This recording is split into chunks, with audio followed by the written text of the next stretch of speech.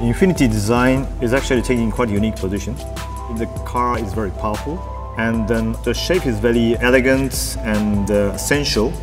The boldness and strength is actually contrasting those the uh, sensuality and the smooth surface transition. Japanese DNA artistry is a way to compose those elements to make a uh, INFINITI design language.